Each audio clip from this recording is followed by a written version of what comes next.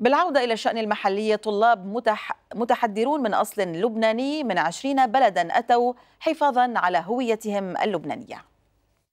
هم عشرات الطلاب من أصل لبناني توافدوا من بلدان العالم واجتمعوا في دورة الأكاديمية المارونية في حرم جامعة الروح القدس في الكسليك بدعوة من المؤسسة المارونية للانتشار.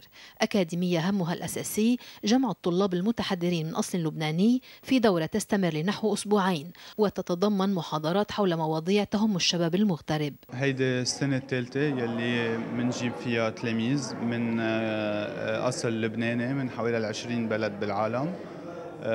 بنشكر آه الله التلاميذ عم بيكونوا كتير مبسوطين. هيدي السنة عنا ما يقارب 70 طالب من 20 بلد فجايين كلهم ليتعرفوا. أغلبيتهم ما عندهم آه ما بيعرفوا لبنان.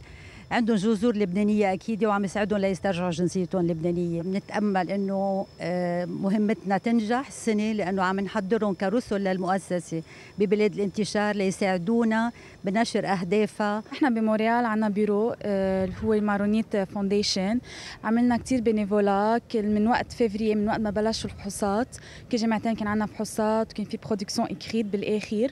عملنا كتير بينيفولا وشجعنا الناس كمان حتى يجوا يتسجلوا ان طونك Libanais. Thank you, Matron Tarabay, uh, to help us to come to see the country and uh, for the Maronite Foundation. وبهدف الحفاظ على هوية الأجداد والافتخار بالجذور اللبنانية يتخلل الدورة هذه زيارة لمواقع سياحية ودينية عدة